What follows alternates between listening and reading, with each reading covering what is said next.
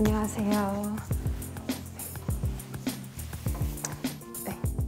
인터뷰 시작하겠습니다. 안녕하세요. 저는 파이브 뮤직 앤 댄스 입시반 19살 박소영입니다. 저는 현재 K-팝학과는 동아방송예술대학교, 국제대학교, 호원대학교에 합격하였고 실용음악과는 동서울대학교에 합격하였습니다. 어, 솔직히 안 믿기는 게 제일 컸어요.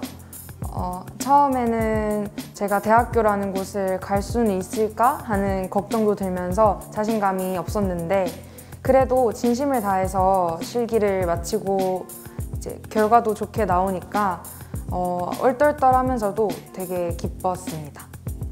제가 고등학교 2학년 때 아이돌이 하고 싶어서 학원에 처음 와서 오디션 반을 하면서 춤 노래를 배우게 되었는데 이제 고등학교 3학년이 되면서 좀 더 집중적으로 배우고 싶게 됐고 입시곡들을 확정해서 제대로 연습한 지는 두 달 조금 안 됐던 것 같습니다.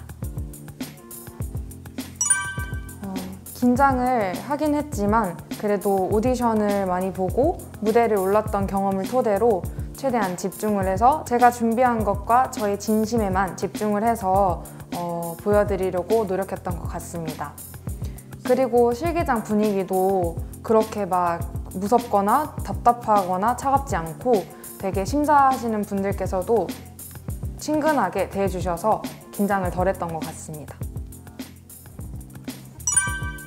보컬 같은 경우에는 연습할 곡을 음정 박자는 기본이고 뭐 가사, 원곡에서의 호흡, 감정, 다이나믹, 기교와 같은 디테일들을 공부하듯이 분석해서 어느 정도 감이 잡히게 되면 그 분석한 것들을 몸이 기억하게끔 반복 연습을 해서 마지막에는 그 곡 전체 분위기에 집중을 하면서 그 곡에 빠졌다라는 생각으로 실전처럼 연습을 많이 했습니다. 저는 공연과 같이 무대 경험이 저에게 굉장히 도움이 되었다고 생각합니다.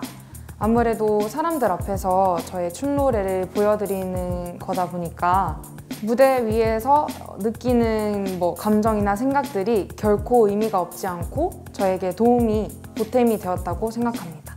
어, 우리나라뿐만 아니라 전 세계에 굉장한 멋있는 아티스트 분들이 많이 계시지만 요즘에는 드비타라는 싱어송라이터 분과 박원혁이라는 어, 유튜브에 본인의 노래를 올리시는 가수분을 좋아합니다.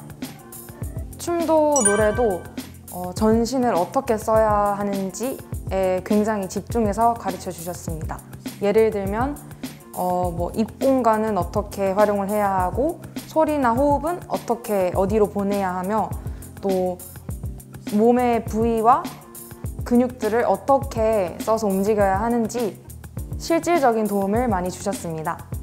저희 학원 내 월말 평가는 담당 선생님뿐만 아니라 학원에 계시는 여러 선생님분들 그리고 학생들과 함께하는 것이라서 어, 다양한 피드백을 얻을 수 있고 다른 학생들의 평가를 함께 들으면서 동기부여도 되는 되게 도움이 되는 프로그램인 것 같습니다. 확실히 여러 선생님들께 다양한 피드백을 받다 보니까 생각하지 못한 부분에서도 부족한 점을 발견하게 돼서 어, 그것들을 보완해 나갈 수 있는 발판이 되었던 것 같습니다.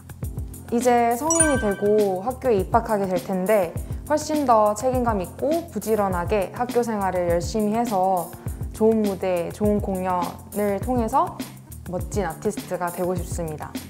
저의 생각과 감정들을 음악적으로 표현해서 사람들과 소통하고 어, 힘과 용기를 심어줄 수 있는 그런 영향력 있는 아티스트가 되고 싶습니다.